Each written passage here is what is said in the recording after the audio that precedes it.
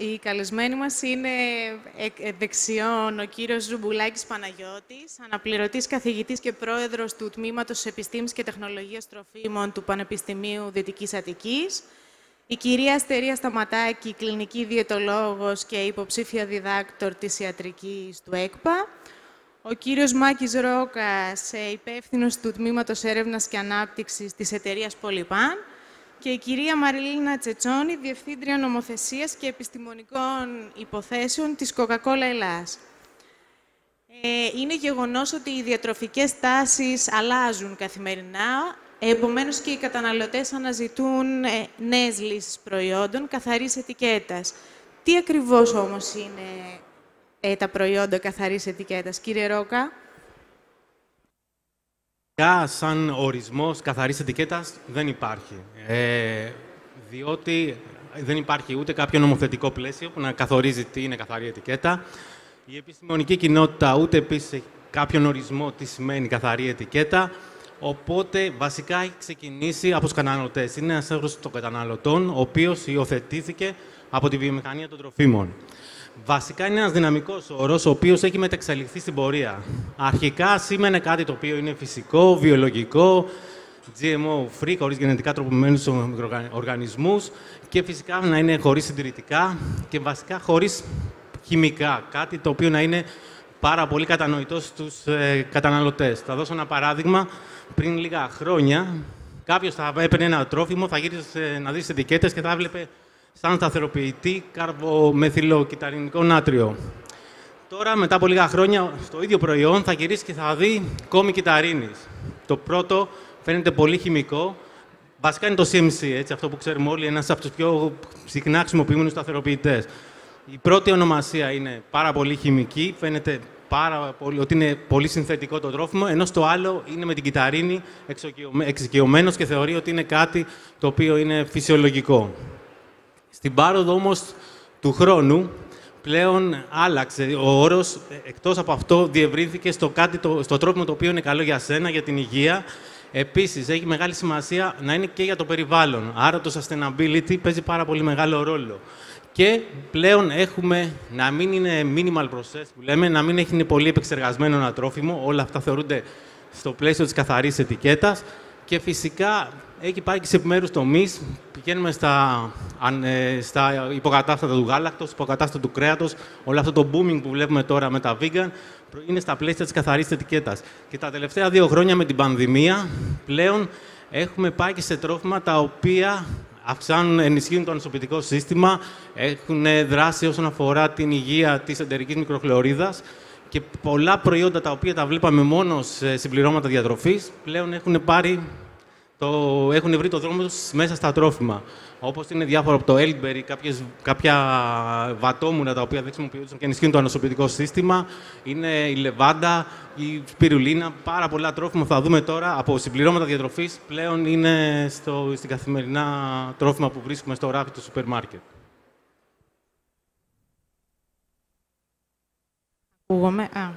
Πόσο κατανοούν όμως οι καταναλωτές, κύριε Ρόγκα, την ετικέτα και το τι αναγράφεται πάνω σε αυτές; Πλέον έχει αλλάξει μέσω του ίντερνετ και τα διάφορα φόρουμ που υπάρχουν.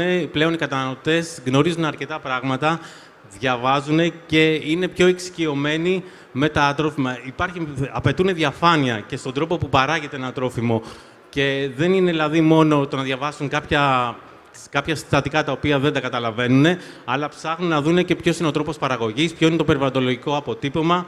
Είναι αρκετά ενημερωμένοι και πλέον και οι ομάδες καταναλωτών είναι, έχουν βοηθήσει με τα διάφορα blog που έχουν στην ενημέρωση του καταναλωτικού κοινού.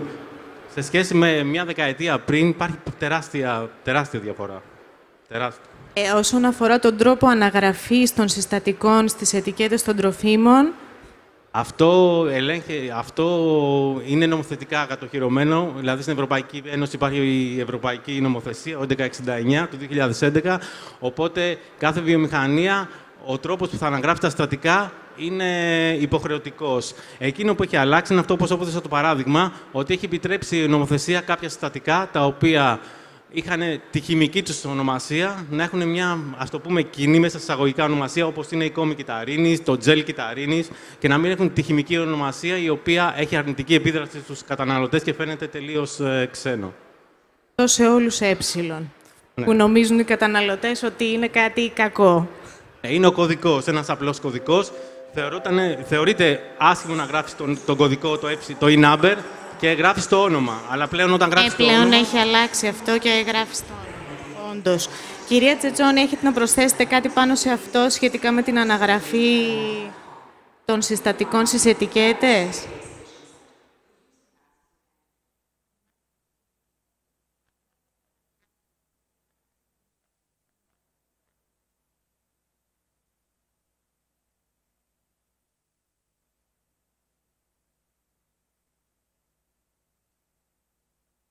Τώρα, τώρα με ακούτε. Ωραία. Ε, ναι, σίγουρα θα συμφωνήσω με τον κύριο Ρόκα. Έχει, πραγματικά οι καταναλωτές είναι πιο ενημερωμένοι. Ε, διαβάζουν περισσότερο τις ετικέτες. Θεωρώ παρόλα αυτά ότι υπάρχουν πολλά περιθώρια ακόμα ε, κατανόησης. Ε, θεωρώ επίσης ότι οι καταναλωτές ε, το διαδίκτυο ε, δεν τους βοηθάει ώστε να καταλάβουν στη σωστή κατεύθυνση το λόγο για τον οποίο προστίθονται κάποια συστατικά μέσα στα τρόφιμα. Ε, και νομίζω ότι δεν είναι και ο ρόλος του διαδικτύου να βοηθήσει τους καταναλωτές σε κάτι τέτοιο. Θεωρώ ότι είναι ο ρόλος της βιομηχανίας να εκπαιδεύσει τους καταναλωτές και ο ρόλος του, του κράτους. Ε, ασχολούμαι πολλά χρόνια με την νομοθεσία τροφίμων και άμα με ρωτήσετε τι θα ήθελα να δω να γίνεται έτσι παραπάνω ε, στο κομμάτι της νομοθεσίας, θα σας έλεγα ότι θα ήθελα να υπάρχει αυτή η ενημέρωση από πολύ μικρές ηλικίες. Θα ήθελα δηλαδή να, να δω τους, στο μάθημα, γιατί πάντα πρέπει να μιλάμε για διατροφή και άσκηση μαζί. Έτσι, άρα θα ήθελα να δω αυτή την εκπαίδευση για την οποία μιλάμε και για την οποία οι επιχειρήσεις προσπαθούν πάρα πολύ ε, και ειδικά τα τελευταία χρόνια και πάνω στην ετικέτα να αναγράφουν πάρα πολλές πληροφορίες ή μέσω ε, των QR code να προσπαθούν να δώσουν πληροφορίες στους καταναλωτές, οι οποίοι όμως φαίνονται ότι επειδή υπάρχει μια ελλειπής ενημέρωση, ότι τελικά δεν τα καταλαβαίνουν αυτά. Ή, υπάρχει μια τελικά παρανόηση το, της πληροφορίας. οπότε, αν με ρωτάτε στο, στο κομμάτι της, της κατανόησης των καταναλωτών της επισήμανσης, θα έλεγα ότι υπάρχουν πολλά ακόμα πράγματα που πρέπει να γίνουν και από τη βιομηχανία αλλά και από το κράτος, γιατί μόνο της βιομηχανία δεν θεωρώ ότι μπορεί να, ε, να, να συντελέσει ε, στο να τελικά ο καταναλωτής να, να καταλαβαίνει το τι διαβάζει. Ναι. Μπουλάκι, θέλετε να προσθέσετε κάτι; Δεν βλέπετε ότι θέλω να Ναι. Και είναι ότι είναι δύο πράγματα στα οποία θα ήθελα έτσι λίγο να τονίσω κάτι. Το πρώτο αφορά ε, το ότι ο καταναλωτής ενώ θέλει το φυσικό δεν είναι σωστά ενημερωμένος. Αλλά είναι μόνο χώρος των τροφίμων που το παρατηρούμε αυτό τι έχουμε να πούμε για όλη αυτή την πανδημία που περάσαμε, τι έχουμε να πούμε για το κατά πόσον ένα εμβόλιο είναι ικανό ή όχι για να σε προστατεύσει; Άρα δεν είναι θέμα ενημέρωσης για μένα, είναι θέμα εκπαίδευσης και μάλιστα εκπαίδευσης από πολύ νωρίς.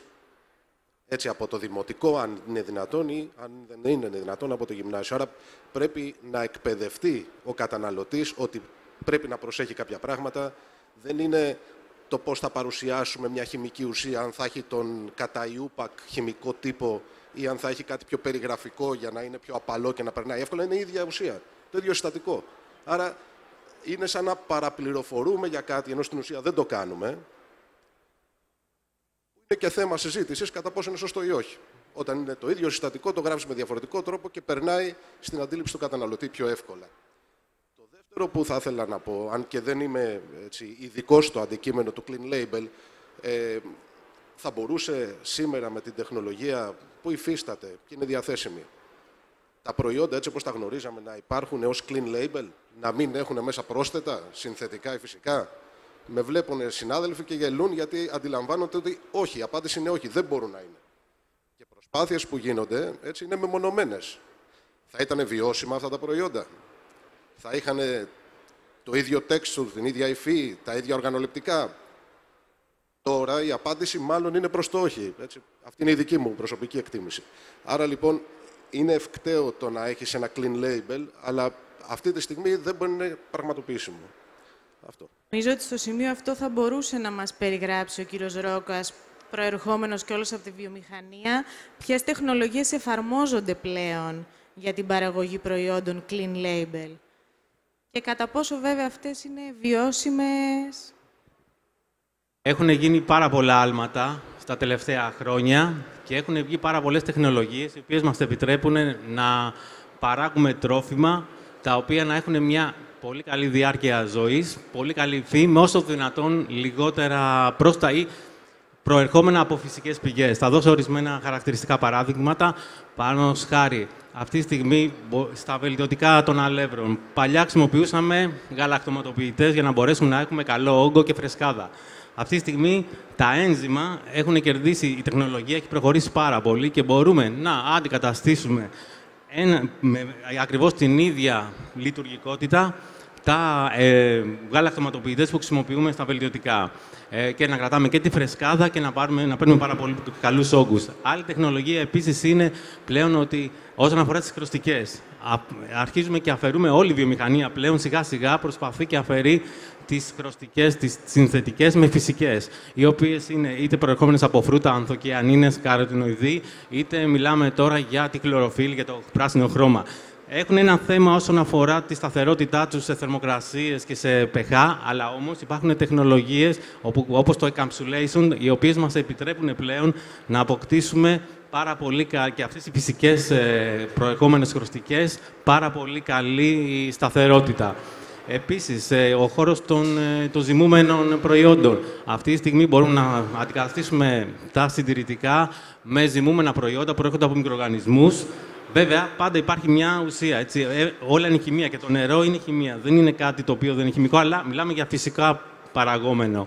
Και φυσικά στον τομέα της υδρόληση, πάλι μέσω των ενζήμων, μπορούμε να αντικαταστήσουμε γαλακτοματοποιητές με πρωτενε, οι οποίες είναι υδρολιμένες και έχουν άλλες λειτουργικές ιδιότητες από ότι όταν είναι στην αρχική τους μορφή. Εκείνο που θέλω να τονίσω είναι ότι δεν υπάρχει όμως, όταν έχουμε κάποιο συντηρητικό ή ένα σταθεροποιητή που χρησιμοποιείται για χρόνια, και ε, δεν είναι εύκολο μόνο με ένα προϊόν, φυσικά ε, προερχόμενο, να μπορείς να το εγκαταστήσει. Πάμε σε ολιστικές συμπεριφορές και αυτή τη στιγμή θα δείτε ότι χρησιμοποιούμε και τεχνολογίες που έχουν κάνει πολύ μεγάλες άλματα στο processing.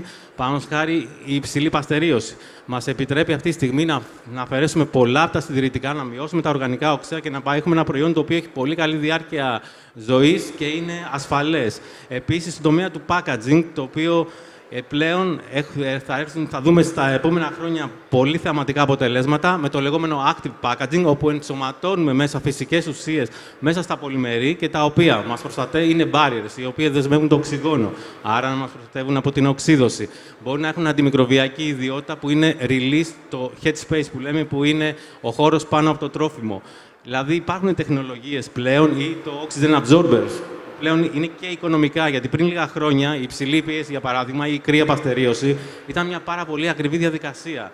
Δεν σύμφερε, δεν ήταν οικονομικό βιώσιμο αυτό που είπε ο καθηγητής, το να βγει στην ε, παραγωγή. Πλέον η τεχνολογία μας έχει επιτρέψει να μειώσουμε τα κόστη και μπορούμε να παράγουμε σε πολλές κατηγορίες τρόφιμα καθαρής ετικέτας. Με όσο δυνατόν λιγότερα πρόστα ή και καθόλου. Και ποιες είναι οι προοπτικές ανάπτυξης από την παραγωγή αυτών των προϊόντων. Ναι, είναι πλέον το clean labeling αυτό δεν είναι ένα trend, απλά είναι ένα προαπαιτούμενο.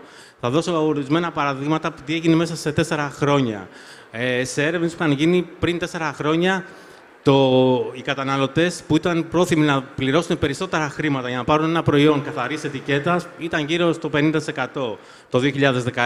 Το 2020, που είναι τα τελευταία στοιχεία που έχουμε από έρευνες που έχουν γίνει στην Αμερική, δείχνουν ότι περίπου και στην Ευρώπη ότι έχουμε φτάσει στο 65 με 70% που είναι είναι οι πρόθυμοι να πληρώσουν παραπάνω για ένα προϊόν καθαρής ετικέτας, το οποίο προστατεύει το περιβάλλον ή έχει ενεργές ουσίες που βοηθούν στο ανοποιητικό, στο σύστημα ανοσοποιητικό ή ότι έχουν, γενικώς είναι καλό για τον καταναλωτή. Επίσης, μέχρι πριν τέσσερα χρόνια, τα τρόφιμα τα καινούργια που ερχόντουσαν στην αγορά, λανσάρονταν στην αγορά, με καθαρή ετικέτα ήταν περίπου στο 20%. Αυτή τη στιγμή είναι ένα στα δύο. Ένα στα δύο καινούργια τρόφιμα που λανσάρονται αφορούν την καθαρή ετικέτα. Και ένα νούμερο απλά που δείχνει την τάση, τα συστατικά, γιατί το μεγαλύτερο, η μεγαλύτερη τεχνολογία προέρχεται από τα συστατικά τροφίμων. Ο τζίρος το 2021 για, για πρώτες ύλες που είναι καθαρής ετικέτας ήταν γύρω στα 38 δις δολάρια. Το 2026 η πρόβλεψη είναι στα 61 δις δολάρια. Αυτός ο κύκλος αγοράς. Άρα μιλάμε για τρομακτική ανάπτυξη για τα επόμενα χρόνια. Άρα έχει, και εκεί είναι που πάει η βιομηχανία. Εκεί θα πάει. Κύριε Ζουμπουλάκη, πόσο εφικτό είναι κατά τη γνώμη σας να παραχθούν τρόφιμα χωρίς πρόσθετα, clean label, όπως συζητάμε; Νομίζω ότι καλύφθηκε εν μέρη η απάντηση στην ερώτηση αυτή. Ε, υπάρχουν παραδείγματα, όπως ανέφερε τώρα και ο προηγούμενος ομιλητής. Δεν μπορώ να πω όμως ότι αυτή τη στιγμή είμαστε σε θέση το σύνολο των προϊόντων να παραχθούν χωρίς πρόσθετα, ιδίως αν συμπεριλάβω εκτός από τα συνθετικά και τα φυσικά. Όμως δεν νομίζω ότι αυτή τη στιγμή είναι το να παραμείνουν τα πρόσθετα στο σύνολό τους, είναι να αντικατασταθούν αυτά που θεωρούμε επικίνδυνα για τον χύψη λόγο και όταν λέω επικίνδυνα εννοώ μακροπρόθεσμα, όχι να έχουν ένα acute effect. Είναι πράγματα που μελετάει και η Ευρωπαϊκή Ένωση αυτή τη στιγμή με μεγάλα κονσόρσια για το κατά πόσον συστηματική δράση με χορήγηση αντίστοιχα ή κατανάλωση ενός συστατικού μπορεί να έχει effect over time, δηλαδή μετά από 10 χρόνια. Έτσι, αυτό που έχει νόημα είναι να γίνει μια μερική, αν όχι ολική αντικατάστασή τους από φυσικά συστατικά, τα οποία και πάλι όμως μπορούν να έχουν το χαρακτηρισμό των πρόσθετων. Και αυτά βέβαια τα γνωρίζουν οι συνάδελφοι πολύ καλά. Είναι σε θέση, σε θέση όμως οι ελληνικές μικρομεσαίες επιχειρήσεις να παράξουν καινοτομία; Και αν όχι, είναι εύκολο να την υιοθετήσουν; Ποια είναι η άποψή σας αυτό; Όταν μιλάμε για καινοτομία, προφανώς μιλάμε γενικότερα. Τώρα δεν μιλάμε για το clean label. Είναι όμως ένα κομμάτι καινοτομίας και αυτό. Προφανώς και είναι. Προφανώς και είναι. Εδώ και εφόσον σήμερα μιλάμε για την καινοτομία και στο προηγούμενο τραπέζι και σε αυτό, και με όσα ακούσαμε βέβαια και από τον κύριο Γυπάκη από τη Γενική Γραμματεία Έρευνας και Καινοτομίας ε, στην αρχή της συζήτησης, θα ήθελα έτσι να δώσω δύο-τρία σημεία ως στίγμα. Είπε και ο κύριος Χατζιευσταθίου, λίγο πριν κλείσει σε κάποια απάντηση, κάνοντας μνήμα σε βασική και εφαρμοσμένη έρευνα, εγώ θα μιλήσω με μερικά παραδείγματα. Και το ένα δεν αφορά και το χώρο των τροφίμων. Μου αρέσει να παίρνω το παράδειγμα της πανδημίας, που όλοι το έχουμε βιώσει καλά. Κάποιοι άνθρωποι λοιπόν αποφάσισαν να βάλουν μέσα σε ένα λιπόσωμα ένα κομμάτι ή τμήμα ενός RNA, έτσι ένα messenger RNA, και να το εγχύσουν ως εμβόλιο για να κάνει μια δουλειά. Δεν θα φτάναμε ποτέ εκεί αν κάποιοι δεν είχαν μελετήσει τι είναι αυτό το mRNA, ποιος είναι ο ρόλος του, τι δουλειά κάνει, δίνει κάποιο μήνυμα να εκφραστεί μια πρωτεΐνη. Με ποιο τρόπο το κάνει αυτό. Και κάποιοι άλλοι άνθρωποι δεν παίζανε με κάποια λιπίδια σε νερό ή σε άλλα συστήματα για να δουν πώς διευθετούνται στο χώρο, φτιάχνοντας μία από αυτές τις καταστάσεις που ονομάζουμε λιποσώματα. Μπορείς να φτιάξεις και μικύλια, να φτιάξεις και άλλες δομές. Έτσι λοιπόν, τι θέλω να πω, ότι ήρθε μια σύζευξη καινοτομιών από διαφορετικούς χώρους. Από τη βιολογία, από τη χημεία, από τη μηχανική, από τους υπολογιστές και όλα αυτά μαζί κάνανε ένα assembly, έτσι, ενώσανε τα σημεία και φτιάξαν ένα τελικό προϊόν, προφανώς γιατί υπήρχαν κάποιοι άνθρωποι από πίσω που κατάφεραν να συνδέσουν τις επιμέρους εξελίξεις σε τομείς παραδοσιακούς των επιστημών. Πού καταλήγει το πρώτο σημείο; Αν δεν υπάρχει βασική έρευνα, προφανώς κάποια στιγμή δεν θα μπορεί να υπάρξει και εφαρμοσμένη έρευνα. Άρα λοιπόν οι εξελίξεις σε παραδοσιακούς ή και πιο μοντέρνους τομείς των επιστημών Βλέπε χημεία ή βιολογία, μαθηματικά, στατιστική, πληροφορική, να βάλουμε και την ιατρική. Αυτές οι εξελίξεις είναι που θα έρθουν και θα δώσουν τα αντικείμενα εκείνα που θα μπορούμε να υιοθετήσουμε και να κάνουμε αυτό που ονομάζουμε εφαρμοσμένη έρευνα και που προφανώς είναι η έρευνα που αφορά το χώρο για τον οποίο συζητάμε σήμερα εδώ, που είναι ο χώρος των τροφίμων. Αναφέρθηκαν παραδείγματα πολλά από τον πρωτογενή παραγωγή, γεωργία ακριβίας. Γεωργία ακριβίας τι είναι; Δεν είναι η εφαρμογή συστημάτων IoT, η Internet of Things, υπολογιστών. Αν δεν είχαν γίνει εξελίξεις υπολογιστές, αν δεν είχαν βγει καλύτεροι επεξεργαστές, αν δεν είχαν ενώσει όλα αυτά του διαδικτύου μέσα από το cloud και το νέφος και τις υπολογιστικές εφαρμογές μέσα σε αυτό, software as a service. Μπορεί να τα έχετε ακούσει αποσπασματικά, αλλά όλα αυτά ήρθαν και κούμποσαν με εφαρμογή πάνω στη γεωργία. Άρα πράγματι μια μεγάλη καινοτομία τώρα που τον ονομάζουμε Γεωργία 4.0, έτσι, βιομηχανική επανάσταση 4.0 σε όλα τα επίπεδα, έρχεται να κουμπώσει με τον πρωτογενή τομέα, την πρωτογενή παραγωγή. Ας πάμε όμως και στη μεταποίηση. Ακούσαμε και άλλα παραδείγματα. Ακούσαμε για διατροφοδραστικά ή αυτά τα, ε, nutri, τα, τα, τα nutraceuticals, όπως ονομάζονται τώρα. Βέβαια, ο δόκιμος όρος ακόμα δουλεύεται, έτσι, διατροφοδραστικά, είτε είναι συστατικά, είτε είναι τρόφιμα που τα περιέχουν. Σωστά αναφέρθηκε ότι πολλά από αυτά τώρα ξεφεύγουν από το πλαίσιο των συμπληρωμάτων διατροφής, διότι ένα συμπλήρωμα διατροφής είναι για να συμπληρώνει διατροφή. Έτσι πρέπει να έχει γνωστοιχεία, μέταλλα, βιταμίνες. Το να πάρεις το εκχύλισμα ενός φυτού δεν θα έρθει να συμπληρώσει τη διατροφή. Άρα, εμείς ουσιαστικά τα ενσωματώνουμε όλα μέσα σε συμπληρώματα χωρίς να είναι. Ακόμα και αυτά όμως, για να τα παράξουμε και να δώσουμε έναν ισχυρισμό, άσχετα αν μας επιτρέπει η νομοθεσία ή όχι, που δεν μας επιτρέπει να τον γράψουμε πάνω, τις περισσότερες των περιπτώσεων, όχι σε όλες, θα πρέπει να έχουμε κατανοήσει τη δράση τους. Το ότι τα παίρνουμε αυτά δεν σημαίνει ότι τα απορροφάμε κιόλας. Και αυτό βέβαια είναι μια πολύ μεγάλη κουβέντα. Καταναλώνουμε ένα σωρό συμπληρώματα, ένα σωρό εμπλουτισμένα τρόφιμα. Το τι από αυτό μπορεί να περάσει μέσα στον οργανισμό είναι ένα άλλο ερώτημα. Τι από αυτό θα περάσει μέσα από τις εταιρικέ λάχνες για να απορροφηθεί, αν απορροφάται από εκεί, και πού ακριβώς απορροφάται, είναι πάλι ερωτήματα που η βασική έρευνα έχει απαντήσει, ίσως όσα δεν έχει, απαντάει σιγά σιγά.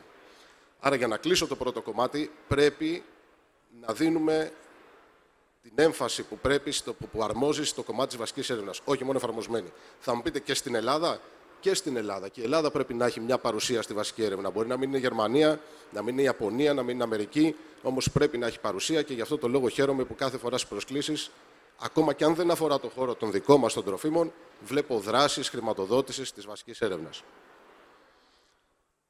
Το δεύτερο κομμάτι έχει να κάνει με το είδος της καινοτομίας. Δεν είναι δυνατόν να ανακαλύπτουμε κάθε φορά δεξαμενές για να μας πάνε στο φεγγάρι, έτσι, ή πυράβλους ή ε, εμβόλια mRNA. Ακόμα κι αν καταφέρουμε να δώσουμε μια ε, αξία στο τελικό προϊόν, μέσω για παράδειγμα της αύξησης της διατηρησιμότητάς του στο ράφι, έτσι, αυτό είναι μια μεγάλη καινοτομία. Ακόμα και αν καταφέρουμε να χαμηλώσουμε το κόστος μέσα από μια διαδικασία, η τροποποίηση μιας διαδικασίας πάλι είναι μια καινοτομία. Την εφευρίσκουμε εμείς, όχι. Την υιοθετούμε. Άρα λοιπόν έχουμε τη ριζική καινοτομία που μπορεί να είναι το εμβόλιο mRNA και τεχνολογία πίσω από αυτό, αλλά έχουμε και τις οριακές καινοτομίες, οι οποίες αθρηστικά όμως αλλάζουν όλο τον χώρο και ιδιαίτερα όταν μιλάμε για τον χώρο των τροφίμων. Άρα λοιπόν ένα κομμάτι της καινοτομίας που μπορούν να εφαρμόσουν όλες οι επιχειρήσεις έχει να κάνει με την οριακή καινοτομία, την οποία δεν είναι απαραίτητο και αναγκαίο να την ανακαλύπτουν οι ίδιες.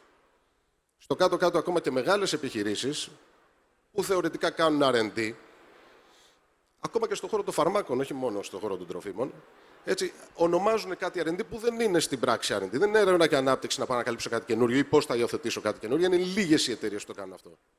Οι υπόλοιπες θα κάνουν, δεν θα κάνουν τίποτα. Προφανώς και θα κάνουν και υπάρχουν και πολλοί και ποικίλοι τρόποι και εργαλεία. Άρα η σύμπραξη με δομές έρευνας, ερευνητικά κέντρα, Ινστιτούτα, το ΕΛΚΕΘΕ και η συνεργασία του και η συνέργειά του με τις επιχειρήσεις εκθειοκαλλιεργειών είναι πλέον ξεκάθαρη. Αλλά και σε άλλους χώρους και τομείς. Πάρα πολύ. Και δεν μιλάω μόνο για τον τομέα τον οποίο εκπροσωπώ, από την Αμερικανική Γεωργική Σχολή της Θεσσαλονίκης, από γεωπονικά τμήματα, από άλλα τμήματα επιστήμης και τεχνολογίας τροφίμων. Όλα λοιπόν αυτά τα τμήματα μπορούν να προσανατολίσουν την έρευνά τους ώστε να υποστηρίξουν καινοτομίες που είναι αναγκαίες, όχι που είναι αναγκαίες για τα ερευνητικά ιδρύματα προκειμένου να προσλάβουν κόσμο και να βγάλουν δημοσιεύσεις, που είναι αναγκαίες για τις επιχειρήσεις. Και εδώ βέβαια έρχεται το ερώτημα και γι' αυτό το απέθυνα στην κυρία Σάλτα προηγουμένως. Πώς μπορούν να ξέρουν κάποιες μικρές επιχειρήσεις τι πραγματικά καινοτομία υπάρχει; Γιατί αν δεν ξέρεις τι υπάρχει, δεν μπορείς να ξέρεις αν μπορεί να κάνει και στην δική σου παραγωγική διαδικασία, αν θα μπορούσε να ενσωματωθείς στο δικό σου το προϊόν. Άρα λοιπόν, για να κλείσω και το δεύτερο σημείο, ε, δεν έχω την αίσθηση, είμαι απόλυτα πεπισμένος ότι τα πράγματα είναι πολύ καλύτερα από ό,τι ήταν πριν από 10 χρόνια, ειδικά στον χώρο των τροφίμων.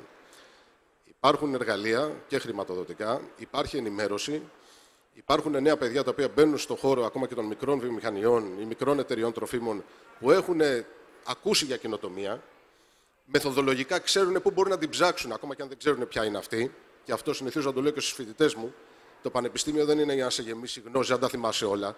Είναι για να σου υποδείξει τρόπους να τα βρεις. Και αυτό πρέπει να μείνει.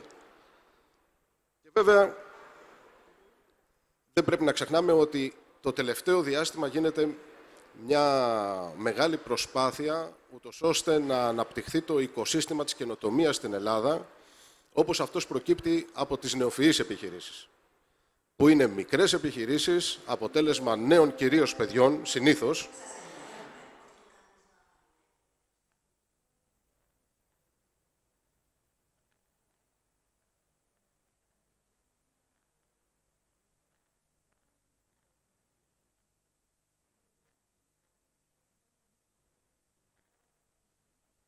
Υπομονή γιατί συμβαίνουν αυτά.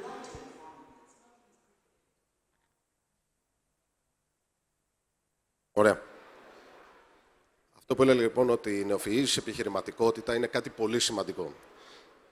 Δεν πρέπει να το παραμερίζουμε, δεν πρέπει να θεωρούμε ότι είναι μια μόδα. Είναι η ουσία η οποία από τη στιγμή που θα αγκαλιαστεί και θα υποστηριχθεί σωστά θα φανούν τα αποτελέσματά της μέσα στην επόμενη δεκαετία.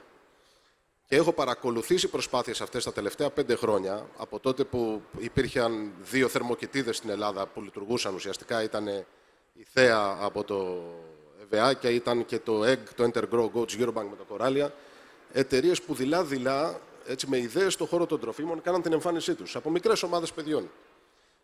Πλέον υποστηρίζονται, υποστηρίζονται ενεργά, υποστηρίζονται από τον ε, χώρο της κοινοτομίας και πρέπει εδώ να δώσουμε και συγχαρητήρια στο Υπουργείο ε, Ανάπτυξης και τον κύριο Δήμα που έχει αγκαλιάσει όλο το οικοσύστημα καινοτομίας.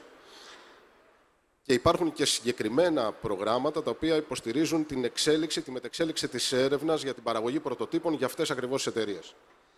Εδώ λοιπόν θα ήθελα, αν δεν καταχράζομαι τον χρόνο σας, να πω ότι ο ρόλος των πανεπιστημίων, των τριτοβάθμιων ιδρυμάτων, είναι εξαιρετικής σημασίας σε αυτά τα σημεία και για το κατά πόσον θα κατανοήσουν οι απόφοιτοί μας το ρόλο της καινοτομίας για τις επιχειρήσεις, για το κατά πόσον θα κατανοήσουν το ρόλο της επιχειρηματικότητας, της νεανικής, της νεοφυούς επιχειρηματικότητας και να μην τελειώνουν περιμένοντας κάποιος ίσως να τους προσλάβει μόνο ή να βρουν μια θέση στο δημόσιο, αλλά να μπορέσουν να έχουν ιδέες, να τις επιχειρήσουν τις ιδέες ακόμα και να αποτύχουν, τουλάχιστον να το έχουν προσπαθήσει.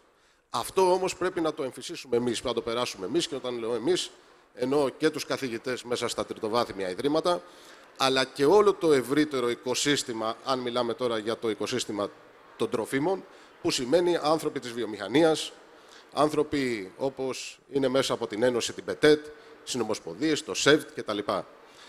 Και εδώ πάνω για να κλείσω, θα πρέπει να τονίσω ότι τώρα αυτή τη στιγμή αποσπασματικά έχουμε 9 τμήματα που σχετίζονται με την επιστήμη και την τεχνολογία τροφίμων. Αν αφήσω απ' έξω τα τμήματα διαιτολογίας διατροφής, και προφανώς τμήματα χημίας που έχουν κατευθύνσει πάνω σε χημία τροφίμων. Αν τα δούμε αυτά ξεχωριστά, θα καταλάβουμε ότι υπάγονται σε διαφορετικές σχολές. Άλλες σε γεωπονικέ σχολές, άλλες σε γεωτεχνικέ σχολές, άλλες σε σχολές επιστήμης τροφίμων. Τα προγράμματα σπουδών, αν δεν ευθυγραμμιστούν με τις ανάγκες αγοράς και προφανώς με τις ανάγκες που βλέπουμε ότι είναι το, το state of the art στην επιστήμη των τροφίμων παγκοσμίως, τότε το έχουμε χάσει το παιχνίδι. Και εδώ λοιπόν είναι και μια πρόταση και προς την ΠΕΤΕΤ και προς το ΣΕΒΤ να καθίσουμε κάτω μαζί με τις δεξιότητες οι οποίες έχουν ανακοινωθεί από την Ευρωπαϊκή Επιτροπή και να δούμε τι καλύπτει, πόσο καλύπτει κάθε πρόγραμμα σπουδών και πώς αυτό μπορεί να τροποποιηθεί και να κάνει αυτό που ακούσαμε για το reskilling και upskilling των νέων ανθρώπων στον χώρο των τροφίμων. Αυτά έχω να πω. Με την επίσημη πρόταση, κύριε Ζουμπουλάκη, και θα επανέλθουμε. Ε, μιλήσαμε για νέα συστατικά, μιλήσαμε για sustainability. Κυρία Τσετσόνη, θα ήθελα να μας μεταφέρετε την εμπειρία σας από τις δράσεις που εφαρμόζει η βιομηχανία, ώστε να ανταποκριθεί στις σύγχρονες διατροφικές απαιτήσεις των καταναλωτών. Πάλι. Εντάξει. Ε, ναι, πράγματι. Ε, Σίγουρα οι διατροφικές ανάγκες και απαιτήσεις των καταναλωτών έχουν αλλάξει πολύ τα τελευταία χρόνια. Αυτό υπόθηκε και στο, ε, στο προηγούμενο τραπέζι. και σίγουρα η βιομηχανία προσαρμόζεται σε αυτές τις ανάγκες και σε αυτές τις απαιτήσεις. οι καταναλωτές ενδιαφέρονται πλέον για πιο υγιεινές επιλογές, για πιο υγιεινά τρόφιμα, ε, περισσότερες επιλογές που ταιριάζουν στον τρόπο ζωής τους. Σίγουρα, ε, όπως είπαμε και πριν, η ενημέρωση και η εκπαίδευσή τους έχει πολύ μεγάλο ρόλο στο τι επιλέγουν τελικά και στα τρόφιμα που καταναλώνουν. Τώρα, η βιομηχανία, ε, στο να, όταν ε, ανταπεξέλθετε σε αυτές τις απαιτήσεις, ε, πρώτα με διάφορες δράσεις. Ε, πρώτα απ' όλα μέσω της ενημέρωσης. Ε, γιατί προσπαθεί να, κατα... να επικοινωνήσει στους καταναλωτές μέσω της ετικέτας ε, τις διατροφικές πληροφορίες ενός προϊόντος, όχι όμως ανά 100 γραμμάρια που είναι αυτή τη στιγμή η νομοθετική απέτηση, αλλά και αναμερίδα, και μάλιστα πολλές επιχειρήσεις προβαίνουν και στην αναγραφή των διατροφικών πληροφοριών και στο μπροστινό, στο μπροστινή πλευρά της συσκευασίας. Έτσι ώστε ο καταναλωτής ε, όταν βλέπει το προϊόν στο ράφι να μπορεί να γνωρίζει τι διατροφικά χαρακτηριστικά έχει το προϊόν που θα επιλέξει. Ε, μία άλλη δράση της βιομηχανίας είναι ε, η ανασύνθεση. Τι, τι εννοούμε με τον όρο ανασύνθεση. Ε, αμυγός ο όρος έγκυται στο γεγονός ότι της μείωσης των κάποιων από, το, από τα θρεπτικά χαρακτηριστικά που περιέχει μέσα το τρόφιμο. Κυρίως η ανασύνθεση ε, προσεγγίζεται στη μείωση των λιπαρών, των κορεσμένων λιπαρών, ε, των σακχάρων και του αλατιού. Ε, έχουν γίνει πάρα πολλές προσπάθειες τα τελευταία χρόνια προκειμένου να, ε, να μειωθούν κάποια από τα διατροφικά χαρακτηριστικά ε, μέσα στα προϊόντα. Ένα παράδειγμα, και μάλιστα και βιομηχανίες, αλλά και κλάδι βιομηχανιών, συντάσσονται και προσπαθούν συνέχεια να μειώνουν κάποια από αυτά τα χαρακτηριστικά. Ε, ε, για παράδειγμα, θα αναφέρω ότι το Βέλγιο, ο Σύνδεσμος Τροφίμων, έχει δεσμευθεί για να μειώσει ε, τα, τα σάκχαρα και τα λιπαρά κατά 5% σε όλα τα προϊόντα που κυκλοφορούν στο Βέλγιο, αλλά ακόμα και στην Ολλανδικό χώρο, ο Σύνδεσμος των Αναψυκτικών από το 2015 μέχρι το 2020 ε, δεσμεύτηκε να μειώσει κατά 10% τα σάκχαρα που υπάρχουν μέσα στα προϊόντα και αυτή τη στα προϊόντα που πουλάνε και αυτή τη στιγμή συζητείται αν θα υπάρξει και μία περαιτέρω δέσμευση για άλλο ένα 10% μείωση στο σακχάρο. Αυτό είναι το κομμάτι της ανασύνθεσης, αλλά η βιομηχανία δεν περιορίζεται μόνο σε αυτό το κομμάτι, μόνο στην ανασύνθεση. Επίσης, προσπαθεί ε, να, να δίνει στον καταναλωτή περισσότερες επιλογές προϊόντων. Δηλαδή, ε, ανασύνθεση είναι η αναπροσαρμογή της, ανταγή, της συνταγής. Υπάρχουν όμως και πάρα πολλά νέα προϊόντα που κυκλοφορούν στην αγορά. Ε, νέα προϊόντα που προορίζονται για συγκεκριμένες ανάγκες του, του πληθυσμού. Ε, νέα προϊόντα εμπλουτισμένα, για παράδειγμα, που με βάση τις και ε, με βάση τις τελευταίες εξελίξεις και με τον COVID, οι καταναλωτές τράφηκαν σε εμπλουτισμένα προϊόντα προκειμένου να ενισχύσουν το νοσοποιητικό του σύστημα, ε, προϊόντα τα οποία είναι απουσία γλουτένης ή λακτόζες, δηλαδή επιλογές που πλέον έχουν οι καταναλωτές και που θέλουν να εντάξουν στον τρόπο ζωής τους. Και επίσης, μία πολύ σημαντική για μένα ενέργεια της βιομηχανίας είναι η μείωση των μερίδων τους. Γιατί πάντα αυτό που προασπίζουμε σαν βιομηχανία και σαν σύνδεσμος είναι ότι δεν υπάρχουν ούτε καλά ούτε κακά τρόφιμα, αλλά ε, το θέμα είναι πόσο καταναλώνεις η ισορροπημένη διατροφή και η άσκηση. Και η, η έμφαση στη μείωση των μερίδων ή ακόμα και στο, στην αναγραφή των μερίδων πάνω στις συσκευασίες, ώστε οι καταναλωτές να γνωρίζουν τι συνιστάται να καταναλώνουν, κατά τη γνώμη μου είναι μια πολύ σημαντική πληροφορία που πρέπει να την αξιολογήσουν και να την ε, χρησιμοποιήσουν οι καταναλωτές. Κυρία Σταματάκη, ε, αναφερθήκαμε σε εμβόλια κυρία Ρενέη, θα θέλαμε να μας πείτε ως διαιτολόγος σε ποιες από τις σύγχρονες διατροφικές τάσεις θεωρείτε ότι αξίζει η προσοχή μας και κατά πόσο έχει επηρεάσει ο COVID τις διατροφικές τάσεις; Έχω καλυφθεί σε κάποια πράγματα ήδη από τις προηγούμενους Ευχαριστώ και συγγνώμη. Εγώ θα, αυτό που θα ήθελα πριν να απαντήσω στην ερώτησή σας είναι ότι θα μιλήσω από την πλευρά του διαιτολόγου που ασκώ το επάγγελμα 20 χρόνια ε, και θα ήθελα να, να πω αυτό που βλέπω από τους καταναλωτές και θα ήθελα λίγο να διαφωνήσω λίγο με τον κύριο Όροκα σε ένα σημείο ε, γιατί βλέπουμε διάφορα πράγματα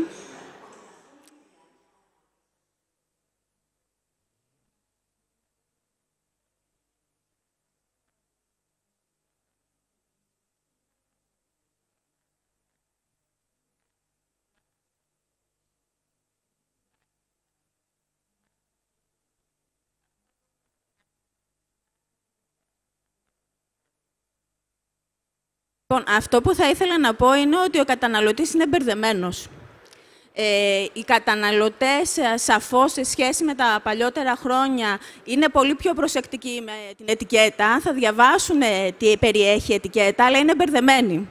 Και θέλω να σας πω ότι ακόμα και εγώ μερικές φορές που είμαι διαιτολόγος, μπορεί κάποιο συστατικό, κάποιο πρόσθετο, να μην γνωρίζω αν έχει μελετηθεί για οποιαδήποτε παρενέργεια ή αν δημιουργεί κάτι στον οργανισμό. Οπότε μπορεί και εγώ να μου πει ο, αυτό ε τάδε είναι καλό και να καθίσω να ψάξω να διαβάσω. Οπότε καταλαβαίνετε πόσο μάλλον για εκείνον, ε, πόσο δύσκολο είναι να αναγνωρίσει τι του κάνει καλό και τι όχι. Ε, επειδή εγώ δουλεύω πάρα πολύ και με κλινικά περιστατικά, που εκεί κοιτάμε τα τρανς λιπαρά, κοιτάμε το αλάτι, τη ζάχαρη κτλ. Θέλω να σας, ε, να σας πω κάτι το οποίο μου κάνει τρομερή εντύπωση και νομίζω ότι δείχνει ότι ο καταναλωτής δεν μπορεί να διαβάζει τη διατροφική ετικέτα, είναι ότι ο καταναλωτής δεν γνωρίζει ότι στην ετικέτα τα συστατικά αναγράφονται ε, σχετικά με την περιεκτικότητά τους. Δηλαδή ότι πρώτα γράφεται αυτό που έχει σε μεγαλύτερη ποσότητα κτλ. Ναι, δεν το γνωρίζουν αυτό.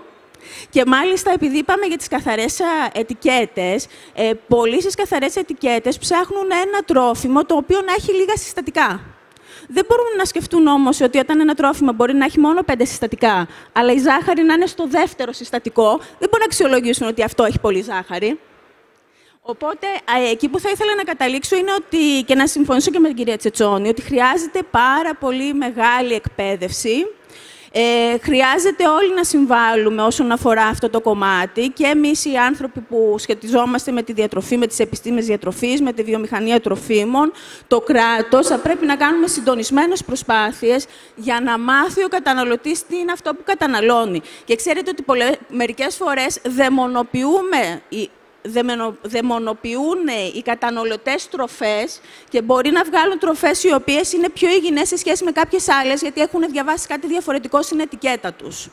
Αυτό είναι πάρα, πάρα πολύ σημαντικό. Και αυτό το οποίο πρέπει να μας κάνει τη μεγαλύτερη εντύπωση είναι ότι ενώ γενικότερα υπάρχει η τάση μιας πιο υγιεινής διατροφής, μιας διατροφής που θέλουμε να ενδυναμώνει το νοσοποιητικό μας σύστημα, να μας προσφέρει ενέργεια, να μας προστατεύει από τα διάφορα νοσήματα, Παρόλα αυτά, και βέβαια θα πρέπει να πούμε και να δώσουμε και τα εύσημα στη βιομηχανία, στη βιομηχανία τροφίμων ότι πάρα πολλές εταιρείες προσπαθούν προς αυτό και στην εκπαίδευση των καταναλωτών, αλλά και βελτιώνουν τα τρόφιμά τους. Παρόλα αυτά, το παράδοξο που βλέπουμε είναι ότι ε, αυξάνονται πολύ τα νοσήματα που σχετίζονται, με τη, που σχετίζονται και με τη διατροφή και βέβαια έχουμε έκρηξη της παχυσαρκίας και δι της παιδικής παχυσαρκίας. Όλα αυτά πρέπει να μας προβληματίζουν και να δούμε πώς θα μπορέσουμε να προστατεύσουμε τον καταναλωτή και πώς μπορούμε να τον εκπαιδεύσουμε. Τώρα, όσον, διαφορά, όσον αφορά τις διατροφικές τάσεις των τελευταίων χρόνων, είναι αυτό που προανέφεραν και οι ομιλητές, ότι όλοι ενδιαφέρονται να ενισχύσουν το ανοσοποιητικό τους σύστημα, ψάχνουν να βρουν τρόφιμα, ψάχνουν να βρουν ροφήματα τα οποία τους κάνουν καλό, ψάχνουν να βρουν superfoods, υπερτροφές, ε, που βέβαια δεν σημαίνει αυτό πάντα ότι είναι και υπερτροφές, γιατί και η υπερτροφή, όπως η καθαρή ετικέτα, δεν υπάρχει κάποιος επίσημος όρος που μπορεί να μας το πιστοποιήσει αυτό ότι είναι μια υπερτροφή. Ε, οπότε ψάχνουμε για τέτοιες τροφές, για τέτοια συμπληρώματα ε, και θα ήθελα να τονίσω και να πω εδώ σε αυτό το σημείο ότι ναι, η βιομηχανία τροφίμων θα μπορούσε να βοηθήσει. Δηλαδή, αν αναλογιστούμε ότι η τελευταία, μία από τις τελευταίες ε, ουσίες οι οποίες μελετώνται πάρα πολύ και γίνεται πολύ μεγάλος λόγος για αυτήν και δεν είναι άλλη από τη βιταμίνη D, ε, που είναι τώρα superstar η βιταμίνη D. Και επίσης αυτό που δείχνουν οι μελέτες είναι ότι το 70 με 75% των Ελλήνων έχουν έλλειψη σε βιταμίνη D, παρόλο παρά το γεγονός ότι είμαστε μία στη χώρα. Ε, στις βόρειες χώρες, επειδή ακριβώς γνώριζαν ότι θα έχουν έλλειψη σε βιταμίνη D, έχουν πάρα πολλές τροφές οι οποίες είναι εμπλουτισμένες σε βιταμίνη D. Οπότε, ίσως είναι καλό να, να δούμε πώς μπορούμε να στραφούμε σε όλα αυτά, πώς μπορούμε δηλαδή να δούμε αν μπορούμε να εμπλουτίσουμε τροφές με τέτοιες ουσίες και πώς βέβαια μπορούν να είναι και λειτουργικές, γιατί πολλές φορές, για παράδειγμα, μιλάμε για τα προβιωτικά, αλλά τελικά δεν ξέρουμε τι περνάει από το όξινο περιβάλλον του στομάχου στο έντερο και τι μας κάνει καλό. Ε, οπότε, είναι πάρα πολύ σημαντικά όλα αυτά, να δούμε πώς μπορούμε να τα αξιολογήσουμε και βέβαια και κάτι άλλο που είπε ο κ. Ροκάς, που εμένα είναι το αγαπημένο μου θέμα και έχει να κάνει με το gut, αυτό που λέμε το έντερο, που είναι ο δεύτερος εγκέφαλος και φαίνεται μάλιστα ότι παίζει σημαντικό ρόλο σε πάρα πολλές λειτουργίες του οργανισμού μας και ότι το ε, πολύ μεγάλο μέρος του ανοσοποιητικού συστήματος εδράζει στο έντερό μας. Θα πρέπει λοιπόν να βρούμε τροφές οι οποίες αγαπούν το έντερο, οι οποίες αγαπούν τα, τα φιλικά βακτήρια του εντέρου ε, και δεν ξέρω αν τα προβιωτικά μπορούν να λειτουργήσουν σε αυτή την κατεύθυνση, αλλά σίγουρα μπορούμε να επλουτίσουμε τροφές με ουσίες με πρεβιωτικές ιδιότητες, όπως, είναι, όπως ξέρετε είναι φυτικές, στην ουσία πολλές φυτικές ίνες έχουν πρεβιωτικές ιδιότητες. Ε, και για να καταλήξω λοιπόν, θα ήθελα αυτό να, να κάνω τέλος πάντων μια, εν κατακλείδη. Αυτό που θα ήθελα να πω είναι, πρέπει να εκπαιδεύσουμε τους καταναλωτές. Πρέπει να τους κάνουμε κατανοητό ότι όταν κάτι έχει ζάχαρη, ε, δεν είναι απαραίτητα κακό, εξαρτάται πόσο ζάχαρη περιέχει, ούτε αν κάτι έχει δεξτρόζη, είναι καλύτερο από τη ζάχαρη. Ή ότι το σιρόπι αγάβης είναι καλύτερο από τη ζάχαρη και όλα αυτά. Υπάρχει μια πολύ μεγάλη σύγχυση. Πρέπει να δούμε ξεκάθαρα τι ακριβώς γίνεται. Πρέπει να εκπαιδευτούμε. Πρέπει να μειώσουμε τις μερίδες. Είναι πάρα πολύ σημαντικό αυτό. Ε, και βέβαια, αφού μιλάμε για καινοτομία, εγώ θα ήθελα μια καινοτομία που να βασίζεται στη μεσογειακή διατροφή. Ε, γιατί πάντα σε τίνουμε να φέρνουμε τροφές από τον Αμαζόνιο ή τροφές από μακρινά εξωτικά μέρη και παραβλέπουμε, για παράδειγμα, ότι η μαστίχα χείου έχει βρει βγει από τον Ευρωπαϊκό Οργανισμό Φαρμάκων ότι κάνει πολύ καλό στις δυσπεψίες, ότι ο δίκταμος ε, βοηθάει ακόμα και σε, σε δερματικές εκδορές ή ότι η κορινθιακή σταφίδα υπάρχουν κλινικές μελέτες ότι βοηθάει. Και θα πρέπει να δώσουμε στο καταναλωτή να καταλάβει ότι όταν μιλάμε για ένα τρόφιμο θα πρέπει για να υπάρχουν διάφοροι ισχυρισμοί, να υπάρχουν κλινικές μελέτες. Δηλαδή, να πρέπει να υπάρχουν μελέτες που να δείχνουν ότι αυτό το τρόφιμο έχει ευεργετικές ιδιότητες στον οργανισμό. Οι μελέτες σε πειραματόζωα για κυταρικές σειρές είναι πάρα πολύ καλές, αλλά αυτό δεν σημαίνει ότι επειδή βρήκαμε κάτι θετικό, αυτό έχει αποτέλεσμα και στον άνθρωπο. Ε, οπότε, μια σωστή, ισορροπημένη διατροφή με ποικιλία τροφίμων, με πολύ, καλά, πολύ καλή ανάγνωση της διατροφικής ετικέτας. Και αυτό που θα ήθελα να καταλήξω είναι ότι θα πρέπει να πείσουμε τους ανθρώπους να εμπιστεύονται τους ειδικούς, και όχι ε, το διαδίκτυο και τους influencers. Σας ευχαριστώ πάρα πολύ. Εγώ θα ήθελα να προσθέσω όσον αφορά ε, τις ετικέτες των τροφίμων, ότι είναι αναμενόμενο οι καταναλωτές να μην γνωρίζουν όλα τα συστατικά, γιατί όπως καταλαβαίνετε υπάρχουν πάρα πολλά συστατικά τροφίμων. Ε, σαφώς θα πρέπει να υπάρξει κάποια ενημέρωση, να γίνονται δράσεις ε, σε συνδυασμό με μελέτες, για να γνωρίζει ο κόσμος και τι καταναλώνει.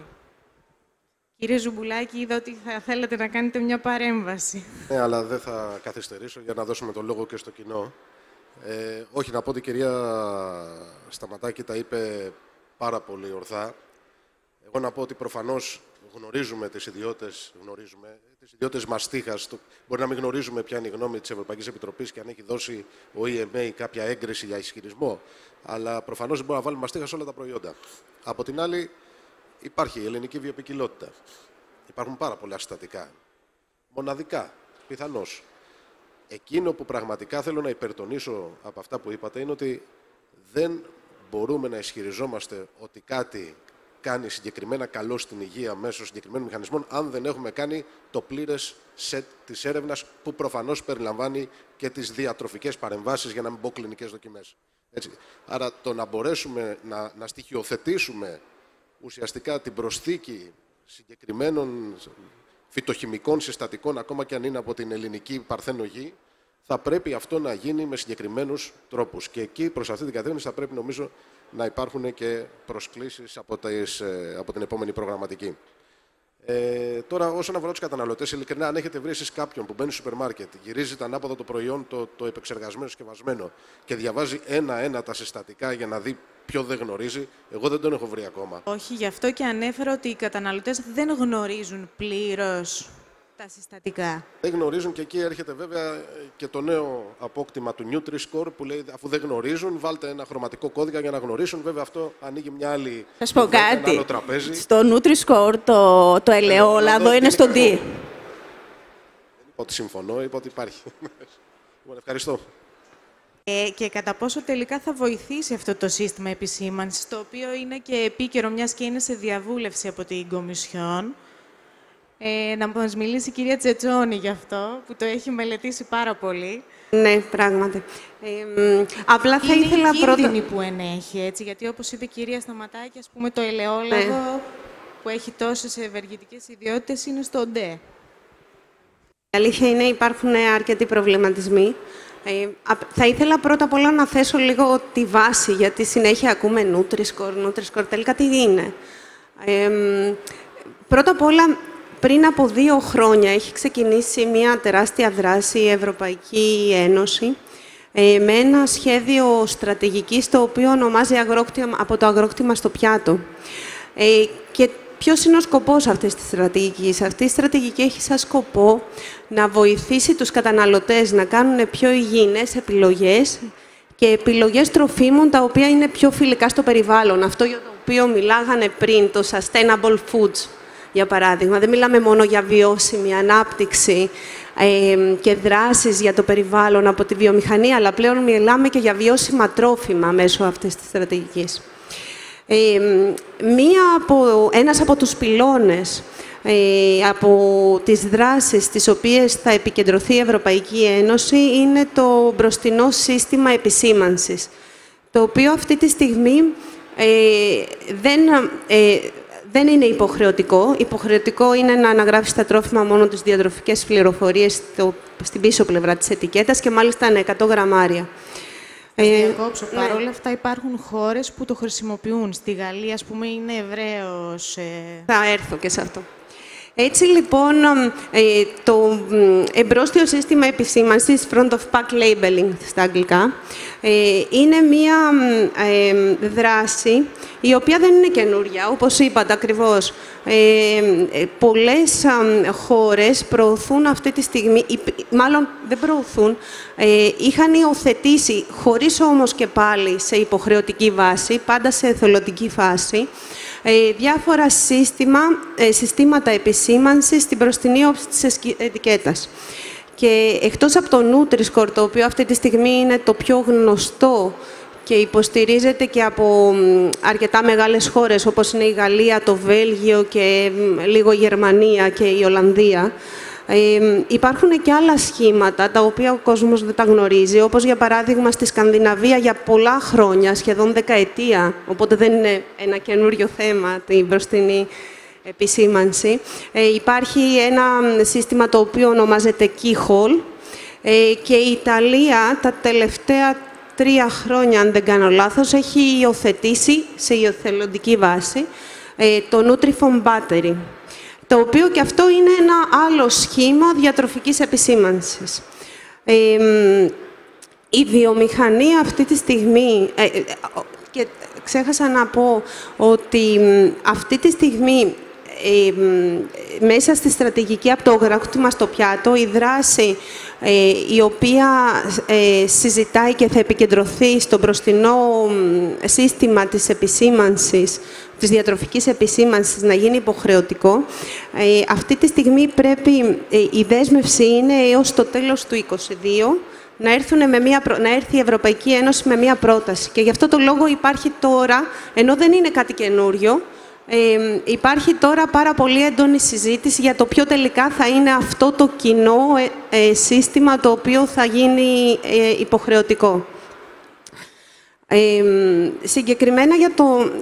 Μάλλον, για να μην ξεκινήσω ακόμα για τον Νούτρισκορ να μιλάω, βασικές αρχές της βιομηχανίας ε, σε σχέση με αυτά τα συστήματα είναι τέσσερις βασικές αρχές. Δηλαδή, η βιομηχανία αυτή τη στιγμή ε, έχει ε, με πρότασή της προς την Ευρωπαϊκή Ένωση θέσει τέσσερις αρχές, οι οποίες θέλει να είναι απαράβατες, ας το πούμε. Το ένα, το ένα κριτήριο είναι η, φυσικά αυτό το σύστημα να είναι ενιαίο, γιατί αυτή τη στιγμή η κάθε χώρα προωθεί το δικό της σύστημα.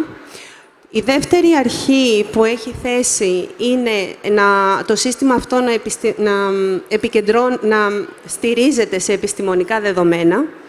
Έτσι, δηλαδή, γιατί ε, όποιο και να είναι αυτό το σύστημα, υπάρχει ένας αλγόριθμος, ένας τρόπος με τον οποίο υπολογίζεται, το, ώστε να, να αποκτήσει ένα, μια βαθμολογία ή να, το, τα, τα νούμερα, στο πούμε, ή, το, η εικόνα με την οποία θα απεικονίζεται, ας πούμε, η διατροφική αυτή επισήμανση μπροστά στην ετικέτα, θα στηρίζεται πάνω σε ένα σύστημα υπολογισμού. Οπότε αυτό το σύστημα θέλουμε να, είναι, ε, να στηρίζεται σε επιστημονικά δεδομένα.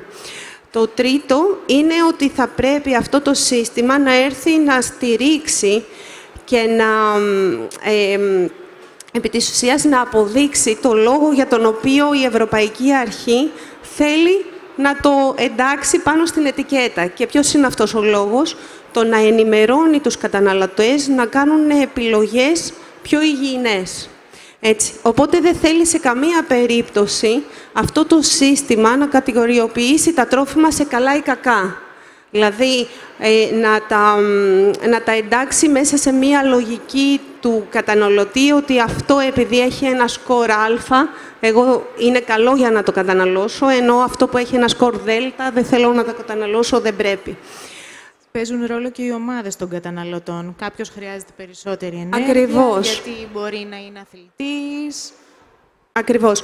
Και αυτό το τελευταίο είναι και το, ο προβληματισμός της βιομηχανίας σε σχέση με το Nutri-Score.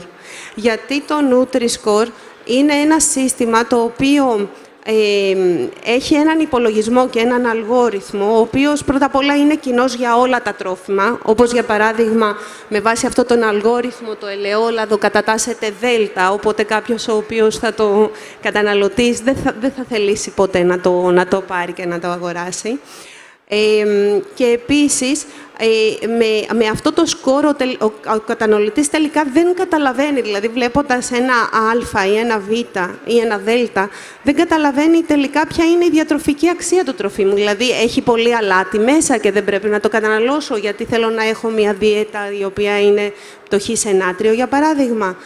Ε, και αυτό συγκεκριμένα είναι και ο προβληματισμός, ότι δεν υπάρχει κατηγοριοποίηση μεταξύ των τροφίμων η Ελλάδα αυτή τη στιγμή και το Υπουργείο Ανάπτυξης ε, έχει, έχει ε, εκδώσει μια, έχει, μάλλον, έχει πάρει θέση ε, κατά του Nutri-Score με, και συντάσσεται περισσότερο με, με, την Ιταλία και με το Ιταλικό σχήστημα που υπάρχει αυτή τη στιγμή με τη λογική της, της υποστήριξης και της, ε, της υπεράσπισης των παραδοσιακών προϊόντων και το μέλι, για παράδειγμα, το οποίο και το μέλι αντίστοιχα έχει ένα σκορ, επειδή είναι σάκχαρο βέβαια, δεν είναι κάτι το οποίο είναι παράλογο, έχει ένα σκορ το οποίο θα είναι αρνητικό για τον καταναλωτή.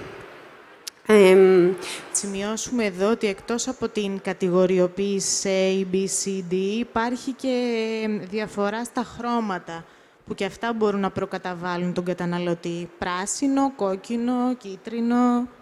Ναι, είναι γεγονός ότι και τα χρώματα σίγουρα θα, ε, ε, θα επηρεάσουν τον καταναλωτή όσον αφορά τις επιλογές που θα κάνει. Ε, παρόλα αυτά, συγκεκριμένα για τα χρώματα, σε ευρωπαϊκό επίπεδο υπάρχει έρευνα η οποία φαίνεται να, να δείχνει ότι οι καταναλωτές θέλουν τη βοήθεια των χρωμάτων. Παρόλο που πράγματι βλέποντας ένα κόκκινο χρώμα, ο άλλος, ο καταναλωτής δεν θα θέλει να το αγοράσει το τρόφιμο. Ε, παρόλα αυτά φαίνεται μέσω έρευνας ότι το, το χρώμα μάλλον θα είναι κάτι το οποίο θα ενταχθεί σε αυτό το σύστημα το οποίο θα προτείνει η Ευρωπαϊκή Ένωση. Πολύ ενδιαφέροντα όσα είπαμε. Ε, θα ήθελα να κλείσουμε, επειδή δεν το συζητήσαμε αυτό, κυρία Σταματάκη, ε, πώς έχει επηρεάσει η πανδημία του COVID τις διατροφικές τάσεις και τι εισπράτεται από τους καταναλωτές; Ε, είναι αυτό που είπαμε πριν, ότι ε, κάνουμε μια στροφή, μάλλον ε, ψάχνουν διατροφές οι οποίες θέλουν να ενισχύσουν το νοσοποιητικό σύστημα. Αυτό. Και έχουμε και μια πολύ μεγάλη τάση, που την είχαμε και από πριν βέβαια, αλλά τώρα γίνει ακόμα πιο έντονη, ε, η προτίμηση στις φυτικές τροφές. Είναι πολύ έντονο αυτό. Βέβαια, τώρα δεν είμαστε τόσο πολύ στο χορτοφαγικό στυλ. Είμαστε σε μια πιο ευέλικτη διατροφή, δηλαδή προτιμάμε φυτικές τροφές, αλλά μπορούμε περιστασιακά να καταναλώνουμε ας πούμε, ψάρι ή αυγά κτλ. Αυτό είναι που βλέπουμε περισσότερο.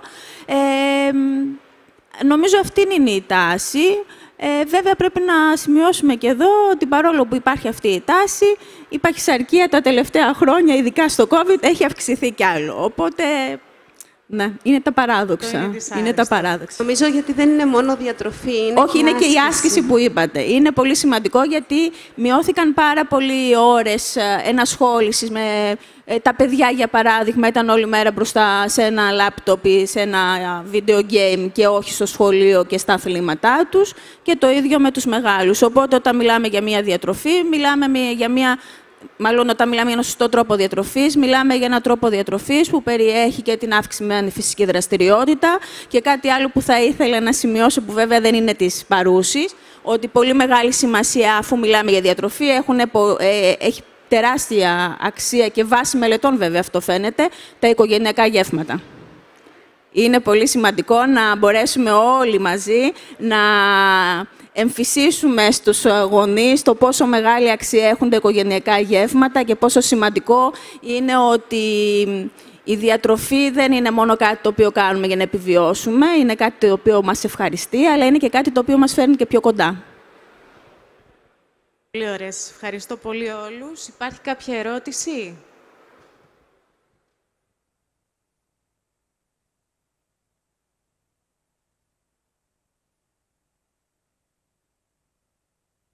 Καλησπέρα. Καλησπέρα. Συνδέοντας αυτά που είπατε με το προηγούμενο πάνελ, ε, θα ήθελα να θέσω ένα προβληματισμό και σε απαντήσει όποιος θέλει από το πάνελ ή όσοι θέλουν. Ε, μιλήσαμε για καινοτομία και μάλιστα για υποκατάστατα κάποιων τροφίμων συμβατικών με κάποιες άλλες τροφές. Αυτό που με προβληματίζει είναι πόσα θα, σαν καταναλωτή και σαν επιστήμονα, πώς θα εκπαιδεύσουμε, παύλα, ενημερώσουμε τον κόσμο, τους καταναλωτές, ε, και με σε συνδυασμό με τους ισχυρισμούς πάνω σε μια ετικέτα, χωρίς να είναι απαραίτητα επισήμανση αυτός ο ισχυρισμός. Ε, τι είναι σωστό να τρώει, αν ένα τρόφιμο, ας πούμε, είναι πιο υγιεινό ή πιο όντως ε, βιώσιμο, με μικρότερο ανθρακικό αποτύπωμα από το συμβατικό. Παράδειγμα, ε, με προβληματίζει το ότι ένα ε, υποκατάστατο κρέατος βαφτίζεται κρέας, το γάλα που δεν είναι γάλα γάλα, το βούτυρο, το γιαούρτι και πάει λέγοντας. Άρα και αφήνοντας στην άκρη αυτούς που προτιμούν αυτές τις τροφές, τα υποκατάστατα, ε, καθαρά για ηθικούς λόγους, ο προβληματισμός είναι, είναι όντως πιο υγιεινά αυτά τα τρόφιμα, τα υποκατάστατα. Και έχουν ολοκληρωθεί μελέτες που όντως να στηρίζουν ότι είναι και πιο βιώσιμα. Έχουν μικρότερο ανθρακικό αποτύπωμα. Και εδώ, συγγνώμη, αλλά το marketing, το παγκόσμιο, ε, των βιομηχανιών κάνει πάρα πολύ καλή δουλειά. Ποιος θα ήθελε να τοποθετήσει. Θα ξεκινήσω εγώ αν είναι και μετά συμπληρώνεται όποιος θέλει. Ε, συμφωνώ, συμφωνώ απόλυτα με τον προβληματισμό, πράγματι υπάρχει. Ε, θεωρώ ότι ε, όσον αφορά τα συστατικά και την ετικέτα και, το, και την εκπαίδευση των καταναλωτή, ε, αυτό πρέπει να γίνει σε μικρή ηλικία μέσα από το σχολείο. Πραγματικά συμφωνώ με την κυρία Σταματάκη σε αυτό που είπε πριν. Ε, γιατί, για παράδειγμα, στο μάθημα της γυμναστικής να μην υπάρχει από τις τρεις ώρες σε μία ώρα που να τους εξηγούν το τι είναι και ποιος είναι ο ρόλος τους. Γιατί, ξέρετε, οι καταναλωτές αυτή τη στιγμή, ε, είτε γιατί είναι μόδα, είτε γιατί πραγματικά το έχουν ανάγκη, έτσι, μια συγκεκριμένη διατροφή. Ε, όμως, στρέφονται προς αυτά τα τρόφιμα, αλλά κατά τη γνώμη μου χωρίς να γνωρίζουν τον πραγματικό λόγο. Δηλαδή, γιατί πρέπει να καταναλώσουν τα συγκεκριμένα τρόφιμα. Όπως, για παράδειγμα, και νομοθετικά ή αν, αν με ρωτάτε και το τι είναι υγιεινό τρόφιμο, δεν ξέρω να σας το απαντήσω. Τι είναι καθαρή ετικέτα, για παράδειγμα, δεν ξέρω να το απαντήσω. Είναι τελείως υποκειμενικό. Γιατί, κατά τη γνώμη μου, το τρόφιμο απλά πρέπει να, να, να ανταποκρίνεται στις ανάγκες και στις απαιτήσεις του καταναλωτή. Και, και πρέπει να είναι... Ε, πρέπει, λοιπόν, ο καταναλωτής να ξέρει ποιες είναι οι ανάγκες τους, δεν πρέπει ή δεν θέλει να καταναλώσει ένα τρόφιμο ζωικής πληροέλευσης. Να το γνωρίζει και από εκεί και πέρα να κάνει τις επιλογές του. από εκεί και πέρα είπατε για τα υποκατάστατα τροφίμων και τα λοιπά, τα οποία μπορεί να είναι μόδα, μπορεί να είναι και πραγματικά μια πεποίθηση των καταναλωτών, από, άποψή τους και επιλογή τους, για τον τρόπο με τον οποίο επισημένονται.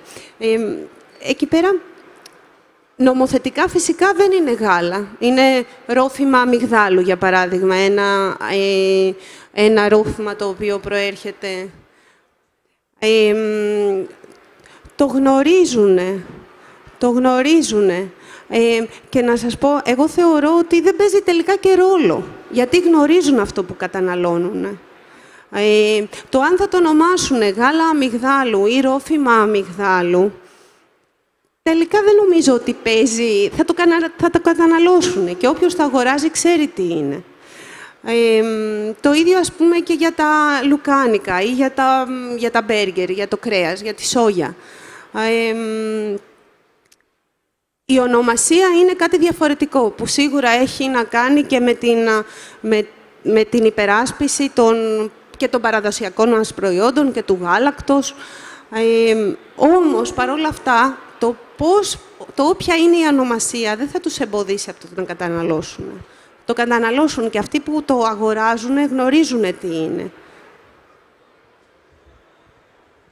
Κυρία Σταματάκη, συμφωνείτε; Πιστεύετε ότι αφήνοντας τα υποκατάστατα, όλοι γνωρίζουν ότι η μαργαρίνη δεν είναι βουτυρό; Σοβαρά τώρα δεν θα αναφερθώ σε αυτό το τρόφιμο, θα αναφερθώ σε κάτι άλλο.